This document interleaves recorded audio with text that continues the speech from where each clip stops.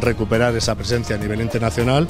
Por otra, pues ofrecer un campeonato de muy alta calidad, con muchas garantías y, sobre todo pues seguir apoyando a nuestro deporte, a la visibilidad de nuestro deporte, porque no en vano nosotros decimos que este va a ser un, campeonato importante, pero también va a ser un evento social y deportivo muy interesante.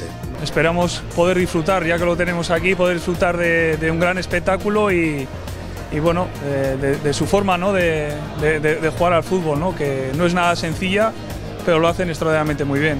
Me puse incluso un antifaz para probar con los jugadores a lanzar un penalti, solo eso, no te cuento lo, impresionante que es ver lo que son capaces de desarrollar en el campo. La verdad es que me encanta y animo a, toda la gente a que se desplace para, ver este evento, este Campeonato del Mundo, que es un orgullo para, para Madrid que, se pueda celebrar y una oportunidad para acercar el fútbol para ciegos a la afición afición al fútbol, que lo desconozca y que seguro que van a quedar impresionados, como a mí me pasó la primera vez que tuve la, suerte de conocerlo. Estamos contentos de poder ser anfitriones, eh, la recepción que nos tiene en este colegio, todo el alumnado que está pendiente de nosotros y con ganas de poder participar en este Campeonato del Mundo y el recibimiento ya habéis visto, que ha sido espectacular, con muchas ganas de que empiece, la verdad.